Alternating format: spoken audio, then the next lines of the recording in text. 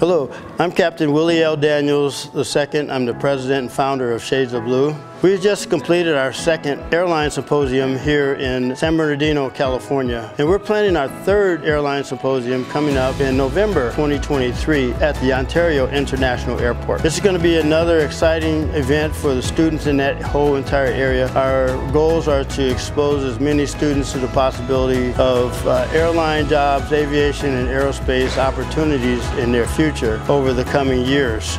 So this is a unique opportunity to have them come out and join us. We're working with the former COO of Ontario International Airport, Mr. Bruce Atlas, uh, the Community Build organization uh, that was established by Congresswoman Maxine Waters and the president of her foundation that she started called the Community Build, Mr. Robert Sausedo.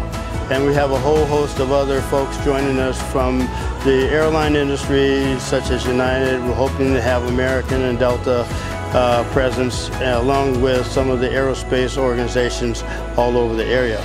Please see our website at www.ourshadesofblue.org and watch that for the coming events. We'll be making an announcement in the very near future. So we'll look forward to seeing you with us in Ontario, California.